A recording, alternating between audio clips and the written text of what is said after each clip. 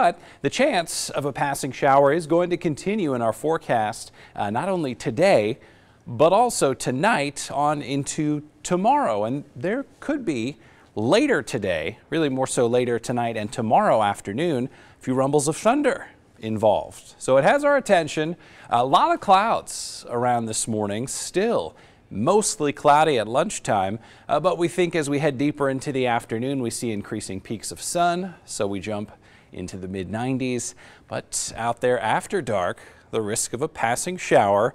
And then uh, as we have mainly dry weather Thursday morning, we look at the quick chance of a passing thunder shower on Thursday, kind of middle of the day into parts of the afternoon. So not a super duper high rain and storm chance, but we've got a chance, which for us this time of June, uh, not all that common. Temperatures in the low 80s early this morning with all the clouds around. Highs about 96 today. 101 tomorrow.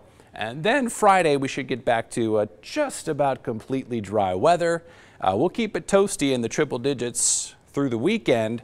Next week, still looking mainly dry, but still hot, uh, above 100 degrees Monday, Tuesday. Guys? Justin, thank you.